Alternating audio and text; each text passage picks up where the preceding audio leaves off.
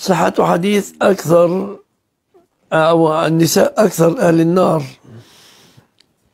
اطلعت على النار فرأيت أكثر أهلها النساء واطلعت على الجنة فرأيت أكثر أهلها الفقراء. الحديث ثابت صحيح.